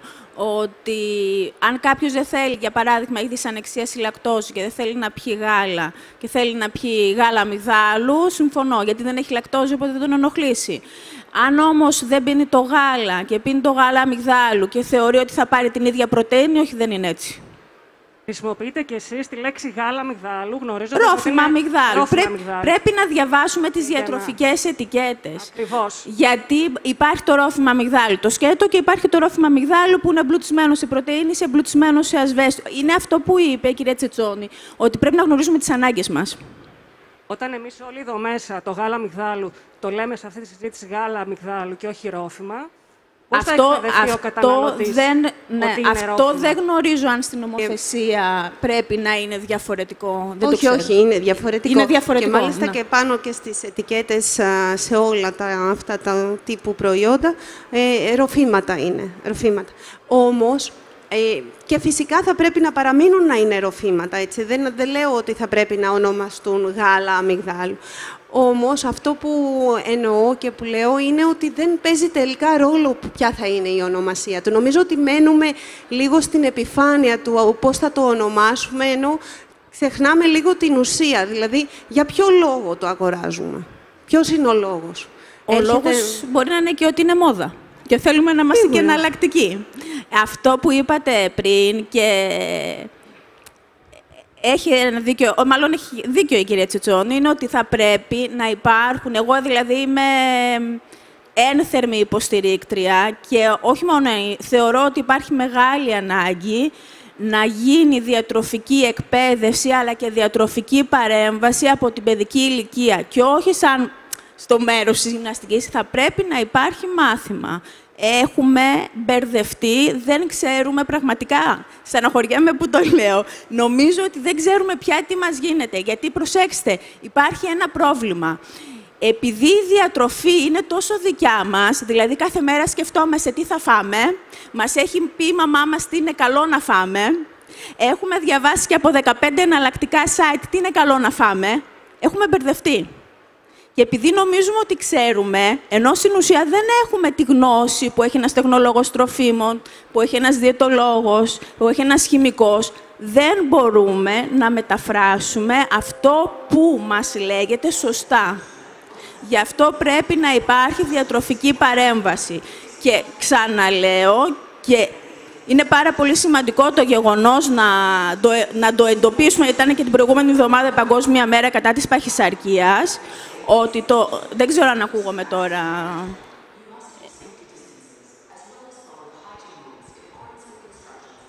Λοιπόν, το 63% των Ελλήνων, το 63% προσέξτε τι σας λέω, είναι είτε υπερβαρή είτε παχύσαρκη.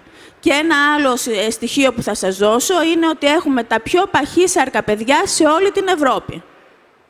Είναι απαραίτητο να γίνει διατροφική εκπαίδευση και διατροφική παρέμβαση ε, μέσα στα σχολεία. Εγώ το πιστεύω ότι η βιομηχανία τροφίμων κάνει πολλά, πολύ μεγάλα βήματα τα τελευταία χρόνια και όσον αφορά την ε, μείωση των τρανσλιπαρών και όσον αφορά τη μείωση του αλατιού και όσον αφορά τη μείωση ε, της ζάχαρης. Το πιστεύω αυτό, αλλά ό,τι και να κάνει η βιομηχανία τροφίμων, αν εμείς δεν γνωρίζουμε, δεν θα μπορέσουμε ποτέ να... Ε, να ακολουθήσουμε μια σωστή διατροφική συμπεριφορά και να κάνουμε τις σωστές επιλογές ή όχι. Και σαφώς δεν υπάρχουν υγιεινά τροφή, μάλλον υπάρχουν υγιεινά τροφήμα, τρόφιμα και υπάρχουν και τροφές οι οποίες είναι πιο καλές και οι άλλες που μπορεί να μας κάνουν λιγότερο καλό, αλλά δεν απαγορεύεται τίποτα. Όπως επίσης δεν προτείνουμε σε κανένα να τρώει κάθε μέρα το ίδιο τρόφιμο επειδή απλά είναι υγιεινό πρέπει να έχουμε μια σωστή, ισορροπημένη διατροφή, με μέτρο, με ποικιλία, με ισορροπία, η οποία, όπως είπα και πριν, να συνοδεύεται και με αυξημένη φυσική δραστηριότητα. Θα πρέπει να ξέρουμε τι ακριβώς επιλέγουμε και για ποιο λόγο το επιλέγουμε. Είναι πάρα, πάρα, πολύ, πάρα πολύ σημαντικό αυτό. Κάποια άλλη ερώτηση; Ο κύριος Αλεξίου.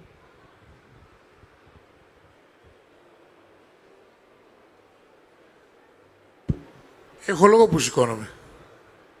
Επειδή είστε αντιπρόεδρος της ΠΕΤΕΤ, φαντάζομαι. Ε, θα κάνουμε έτσι ένα, μια ονειροφαντασία. Κλείστε τα μάτια σας. Φανταστείτε ότι δεν ανήκω στο 63% που είπε η κυρία Σταματάκη, γιατί ανήκω. Ε, φανταστείτε με είμαι 1,95, 85 κιλά, 17 χρονών, στα τουζένια μου, κάθε βράδυ, κάθε απόγευμα πηγαίνω και παίζω τρεις ώρες μπάσκετ. Και λιώνω. Έτσι. Και γυρνάω σπίτι το βράδυ και βάζω να φάω ένα κομμάτι φέτα με ψωμί και η μάνα μου έχει δει τη φέτα με το κόκκινο πάνω στο ράφι και μου λέει: Παιδί μου, το δηλητήριο θα βάλεις μέσα σου. Της λέω: Μα, μα, να σου εξηγήσω. Τι λες, καλέ, τι ξέρεις εσύ; Αυτοί που βάλαν το κόκκινο ξέρουν καλύτερα. Δεν ξέρουν καλύτερα. Γιατί δεν ξέρουν καλύτερα, Γιατί η διατροφή είναι εξειδικευμένη στον καθένα από εμάς. Ένας έφηβο που χτυπιέται στο μπάσκετ τρεις ώρες, υδρώνει. Άρα χρειάζεται το παραπάνω αλάτι που έχει φέτα ε, χαλάει η ενέργεια. Άρα χρειάζεται το παραπάνω λίπος, που γι' αυτό έχει και η κόκκινη η φέτα. Χρειάζεται τις βιταμίνες του, τις α, ε και κ λιποδιαλυτές, που είναι στο λίπος το παραπάνω που έχει η φέτα. Χρειάζεται την B. Η φέτα δίνει το 6% του RDI της καθημερινής ε, ε, ανάγκης σε ε, ψευδάργυρο, ε, δίνει το 10 με 15% σε ασβέστιο, σε πιο αβιοαπορροφήσιμη μορφή από πολλά άλλα τρόφιμα, έτσι. Ε, και γενικώ η φέτα 100 γραμμάρια για ένα προφίλ σαν αυτό που σας περιέγραψα, Δεν τρέχει τίποτα, κάστανο. Δεν παθαίνει κανένας τίποτα. Τώρα, άμα το φάω εγώ, που είμαι στο 63%, έχω ζαχαρόδι διαβήτη και αρθρίτιδα, άμμο όμως ενωδώ με τα πνευμάτων δικαίων. Λοιπόν, άρα η τοποθέτησή μου είναι ότι τα Nutri-Score είναι για τους ανθρώπους που θέλουν πατερούλι, που ζητάμε πατερούλι σε κάθε έκφανση της ζωής μας και δεν παίρνουμε την ευθύνη για τη ζωή μας κανένας και ποτέ. Δεν θέλουμε πατερούλι. Σας έχω μια έκπληξη. Επάνω σε κάθε τρόφιμο με, με βάση την νομοθεσία υπάρχουν όλα τα διατροφικά συστατικά και οι βιταμίνες και η περιεκτικότητα σε κάθε τρόφιμο κτλ. Ποιος τα διαβάζει, κανένας. Και επειδή βαριόμαστε να τα διαβάσουν, βγήκαν κάτι έξυπνοι και είπανε: Ωραία, ας πετάξουμε τώρα ένα χρωματικό κώδικα, να τους λέμε και τι θέλουν να φάνε τώρα και τελειώνει η υπόθεση. Δεν είναι έτσι. Η λύση είναι αυτό που είπαν όλοι στο πάνελ, να γίνεται ε, εκπαίδευση εξ απαλών ονύχων, να ξέρει ο κόσμος τι τρώει και κυρίως να γίνεται και μία εξειδικευμένη και εξατομικευμένη ε, πληροφόρηση του καθενός από εμάς τι είναι καλό για μας και τι δεν είναι. Και για να το κλείσω και να το βάλω γύρω-γύρω σε ένα, έτσι, ένα ωραίο concept που λέμε τώρα στα ελληνικά, ε, κάποτε ήμουν πρόεδρος σε ένα σύλλογο γονέων και κηδεμόνων. Φωνάξαμε λοιπόν έναν εξαιρετικό διαιτολόγο, να πληροφορήσει τους γονείς 240 παιδιών, δύο δημοτικά συστεγαζόμενα, τι πρέπει να δίνουν στο παιδί τους στο ολοήμερο. Εμφανιστήκαν οι γονείς 17 παιδιών. Άρα τότε καταλάβαμε γιατί τα παιδιά ερχόντουσαν με πατατάκια και σουβλάκια από το βράδυ. Αγοράζανε πέντε σουβλάκια να φάνε, το ένα περίσσευε και το δίνανε το πρωί στο ολοήμερο. Κατά τα άλλα μας πείραζε που ζεσταίναμε το φαγητό στο φέρνο μικροκυμάτων. Και εκεί. Εγώ κάνω σπατάλη τροφίμων. Τρώω πολύ. Έτσι. Λοιπόν, μου κόψε τον ήρμο της σκέψης τώρα γιατί δεν ήθελα να πω τι ήθελα να πω. Δεν ξέρουμε τι τρώμε και θα πρέπει να καταλάβουμε γιατί, ποιο είναι το κίνητρο που το τρώμε. Όπως πολύ σωστά είπατε, θα χρησιμοποιήσω το ίδιο παράδειγμα. Έχω και άλλα παραδείγματα, αλλά το χρησιμοποιήσω γιατί το μιλήσαμε. Για τα ροφήματα ξηρών καρπών.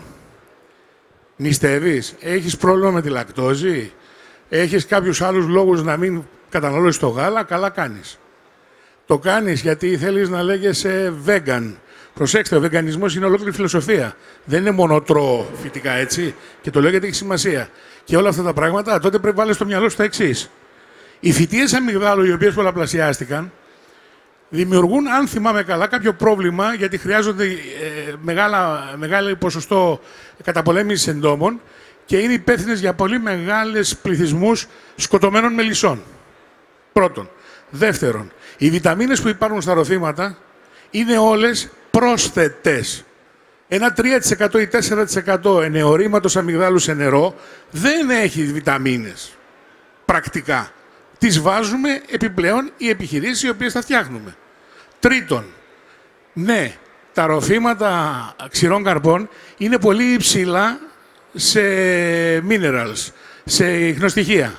Ναι, αλλά τα ίδια, οι ίδιοι ξηροκαρποί περιέχουν έξι φωσφοϊνοσιτόλοι, η οποία χυλοποιεί τα minerals στο όξινο περιβάλλον του στομάχου και τα κάνει μη απορροφήσιμα από τις εταιρικές λάχνες.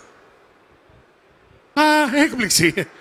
Το ρόφημα αμυγδάλου τελικά ούτε πολύ φιλικό προς το περιβάλλον είναι και στη βιοπικιλότητα, ούτε μπορεί να κάνει αυτά τα που λέει που κάνει, παρόλο που περιέχει όλες τις, τις ουσίες μέσα, αυτές δεν απορροφούνται. Τι έγινε ρε παιδιά; Πληροφόρηση, διαβάζετε από πηγές σωστές, όχι από τον κάθε influencer. Και όταν τα διαβάσετε όλα αυτά, θα καταλάβετε γιατί όταν στο σούπερ μάρκετ πηγαίνει κάποιος, χώνεται μέσα στα μακαρόνια και ψάχνει να βρει αυτό που έχει ημερομηνία λήξεως ένα χρόνο μετά και όχι έξι μήνες. Γιατί δεν ξέρει. Αλλά δεν διαβάζει, ας πούμε, στο, στη γαλοπούλα που παίρνει το παρασκεύασμα πόση γαλοπούλα κρέας έχει και τι προελεύσεως είναι, που είναι υποχρεωτικό από τον νόμο. Άμα βρείτε γαλοπούλα στην αγορά που έχει παραπάνω από 50 60% κρέας, Έλατε και πείτε μου. Όλες οι μάρκες, μηδεν μιας εξαιρουμένης. Από τις πιο ακριβές μέχρι τις πιο φθηνέ. Άρα δεν, θέλω, δεν ξέρω αν θέλει κανείς να τοποθετηθεί σε αυτά που είπα, αλλά συμφωνώ σε αυτό που είπαμε. Πληροφόρηση, πληροφόρηση, εκπαίδευση, εκπαίδευση από αξιόπιστες πηγές. Άλλη λύση δεν υπάρχει. Αλλιώς θα έχουμε πάντα ένα μπαμπά να μας πετάει τα κόκκινα, τα κίτρινα και τα μπλε και θα, μας, θα είναι σαν να μας πετάει τα κουπιά. Κόκκινο η φέτα, μην την πάρεις. Κόκκινο το λάδι, μην το πάρεις. Πάρε το light. Τώρα, αν το light έχει, ας πούμε, ε, κάποιες πολυόλες μέσα για να ε, ε, αναπληρώσει την υφή και το αυτό, οι οποίες μπορεί να έχουν κάποια υπακτική δράση και να ξενομερογιαζόμαστε ένθα και οι βασιλείς μόνοι, το έχει υπολογίσει κανείς αυτό; Όχι. Η προσωπική μου άποψη πάντως και την εφαρμόζω και στο σπίτι είναι φάτε απ' όλα, χωρίς να πηγαίνετε στα light, χωρίς να πηγαίνετε στα εξειδικευμένα, χωρίς να πηγαίνετε στα ε, ε, συμπληρώματα διατροφής, εάν δεν είναι απαραίτητα λόγω υγείας συγκεκριμένης κάποιου ανθρώπου ή λόγω συγκεκριμένων αναγκών, ισορροπημένα και απ' όλα. Και όπου χρειάζεται και από λίγο. Αυτά είχα να πω. Και κάθομαι κάτω να μην ε, τα μάτια σας. Εγώ θα ήθελα να τοποθετηθεί ο κύριος Μαρνάκης σχετικά με το Nutri-Score, γιατί η ΠΕΤΕΤ έχει εκδώσει και ένα δελτίο τύπου μέσω της Επιστημονικής Με πάσα ο κύριος Αλεξίου, ο οποίος ουσιαστικά είναι και ο, ο, ο ηθήνων νους κατά 80% της άποψης της ΠΕΤΕΤ για το Nutri-Score. Ε, έχει κάνει αρκετή δουλειά δηλαδή. Σας ενημερώνω λοιπόν ότι εμείς με την ευαισθησία που μας ε, διακατέχει σε τέτοια ζητήματα κάναμε ήδη μία παρέμβαση πολύ εμπεριστατωμένη. Μπορείτε να τη βρείτε στην ιστοσελίδα μας. Εν ανάγκη για να είναι πιο φρέσκια την ξανααναρτούμε την οποία την ε, στείλαμε όχι μόνο προς την κοινωνία που μας ενδιαφέρει πάρα πολύ αλλά και προς τις ε, ελληνικές αρχές που ασχολούνται με αυτά τα ζητήματα στον ΕΦΕΤ, στο Υπουργείο Αγροτικής Ανάπτυξης, το οποίο μας αγνοεί συνήθως, αλλά δεν πειράζει. Άρα λοιπόν στο κομμάτι αυτό η Ένωση έχει κάνει μια πολύ συγκεκριμένη δουλειά και μάλιστα είμαστε σε επαφή παρεμπιπτόντως επειδή είναι και ο κύριος Μπόσκο εδώ, ο καθηγητής του Χαρακοπίου, έχουμε συζητήσει ε, μαζί του να κάνουμε και μια εκδήλωση η οποία αναφορά ακριβώς σε αυτό το θέμα, ε, την επαφή δηλαδή που πρέπει να έχουμε εμείς ως επιστήμονες τεχνολόγοι τροφίμων και διατροφολόγοι με την κοινωνία και να ενημερωθεί. Γιατί ουσιαστικά ποια είναι η κεντρική ιδέα όλων αυτών. Αν δεν είναι ενημερωμένος ο πολίτης, και δεν λέω καταναλωτής γιατί δεν μ' αρέσει, προτιμάω το πολίτης. Αν δεν είναι ενημερωμένος και μάλιστα εις βάθος και δεν μπορεί να διαβάσει ούτε μια διατροφική ετικέτα, όλα αυτά τα συστήματα με τα χρώματα εγώ προσωπικά τα απορρίπτω. Για τους λόγους που είπε ο Ηλίας, να μην το επαναλάβω. Εκτός από αυτό λοιπόν, θα ήθελα με την ευκαιρία αυτή να θίξω άλλα δύο ζητήματα, τα οποία θα είμαι σύντομος, σε πέντε λεπτά θα έχω τελειώσει. Το ένα είναι η γύρανση του πληθυσμού. Ο πληθυσμός στο δυτικό κόσμο γερνάει με εξωφρενικούς ρυθμούς. Ειδικά στην Ελλάδα, αν συνεχίσουμε έτσι, στα επόμενα 20-30 χρόνια θα είμαστε 4-5 εκατομμύρια λιγότεροι. Αυτό τι σημαίνει πρακτικά; Σημαίνει ότι ο μέσος όρος ανεβαίνει και ο αυτός που είναι σήμερα 70 χρονών θέλει να ζήσει σαν να είναι 60, μην πω και 50. Ναι, αλλά το σώμα του δεν τον βοηθάει. Πρέπει να βρούμε λοιπόν εναλλακτικές λύσεις στη διατροφή, τέτοιες που να του επιτρέπουν να χτίσει ένα, να υποστηρίξει μάλλον το μυοσκελετικό του σύστημα με έναν τρόπο που θα υποστηρίξει και τη ζωή του. Προφανώς ένας άνθρωπος 75 χρονών δεν μπορεί να φάει δύο μπριζόλες τέτοιες για να πάρει πρωτενε. Πρέπει να βρούμε έναν άλλο τρόπο να του δώσουμε πρωτενε. Και εκεί υπάρχει και το ενδιαφέρον της καινοτομίας. Δηλαδή ο συνδυασμός των νέων αυτών αναγκών καταναλωτικών, οι οποίες, τις οποίες μας εξωθεί η εξέλιξη της κοινωνίας σε σχέση με την καινοτομία. Αυτό είναι το ένα κομμάτι, αυτό είναι αντικείμενο νέων ημερίδων, απλώς σας λέω ότι ετοιμάζουμε πιο πολύ για να είστε έτοιμοι. Και ένα τελευταίο κομμάτι το οποίο δεν, το, ή δεν το άκουσα εγώ, γιατί μπορεί να μιλούσα, ζητώ συγγνώμη. Αφορά τη γλουτένη. Η γλουτένη είναι ε, της μόδας όσον αφορά τη δημιουργία προϊόντων. Ε, πάει, ε, είναι προγενέστερη των ε, ροφημάτων αμυγδάλου και δεν ξέρω εγώ τι άλλο. Προσέξτε, υπάρχει ένα αντικειμενικό πρόβλημα με τη γλουτένη. Υπάρχει ένα ποσοστό του πληθυσμού 2%, 3%. Δεν είναι παραπάνω. Το οποίο έχει πρόβλημα με δυσανεξίας ή αλλεργία στη γλουτένη. Πάει αυτό. Δικαιολογεί αυτό όμως των οριμαγδότων προϊόντων χωρίς γλουτένη και την ιστερία που επικρατεί ε, για τα θέματα χωρίς γλουτένη. Σε ένα βαθμό θα μπορούσε να το δικαιολογεί. Πώς; Πες ότι το παιδί σου έχει γλουτένη. Έχει πρόβλημα με τη γλουτένη, συγγνώμη. Εσύ θα τρως την ψωμάρα, τη φρέσκια μπροστά του και τα τυρόψωμα; Όχι θα αναγκαστείς να προσαρμόσεις τη διατροφή όλης της οικογένειας σε αυτή την κατεύθυνση του ανθρώπου που έχει πρόβλημα στην οικογένεια. Άρα το 2% γίνεται 10. Αυτομάτως. Το 10% λοιπόν αυτού του πληθυσμού το οποίο θέλει να τρώει ή μονίμως ή, ή εκ προϊόντα χωρίς γλουτένη αποτελεί μια κρίσιμη μάζα για να αναπτυχθούν εμπορικά προϊόντα χωρίς γλουτένη. Προφανώς γίνονται και υπερβολές Μέκη σαμπουάν χωρίς γλουτένι έχουμε δει, διότι όσο να είναι κάτι θα μπει στο στόμα την ώρα που κάνεις μπάνιο, έτσι. Ε, και νερό χωρίς γλουτένι. Μην φας κανένα νερό με γλουτένι. Αυτά όμως είναι υπερβολές, οι οποίες προέρχονται από στρεβλώσεις αγοράς και προέρχονται και από κακή πληροφόρηση. Πώς είπε, νομίζω η κυρία Σταματάκη το είπε πριν, οι περισσότεροι από πού ενημερώνονται για τα διατροφικά συστήματα, από τις ημερίδες, τις ΠΕΤΕΤ ή από τις εκδηλώσεις των πανεπιστημίων; Όχι βέβαια, κατά 90% ενημερώνονται από αναξιόπιστα ή μερικώς αναξιόπιστα ε, site, ιστοσελίδες που δεν ελέγχει κανένας την αξιοπιστία τους, διαβάζει όλος μια μπουρδα. Συνήθως, άμα δείτε πολύ εντυπωσιακό τίτλο, μας σκοτώνουν, μας κρεμάνε, μας ταΐζουν καρκίνο. Κανένας δεν διαβάζει παρά μέσα. Και μέσα μπορεί να έχει τίποτα άσχετο. Ωραία. Θέλει λίγο προσοχή λοιπόν. Αυτό λέμε και εμείς και στους νέους, ειδικά συναδέλφους, αλλά και στους φοιτητές μας χρησιμοποιήστε αξιόπιστες πηγές πληροφόρησης, μην διαβάζετε ό,τι μπουρδά αναρτάτε στο διαδίκτυο για λόγους εντυπωσιασμού ή οικονομικούς ή επειδή απλώς είναι ο άλλος ψεκασμένος. Και γενικά παρακολουθήστε μας όσο πιο κοντά είστε στην ΠΕΤΕΤ, τόσο πιο ε, ενημερωμένοι είστε και πιο καταρτισμένοι. Ευχαριστώ πολύ.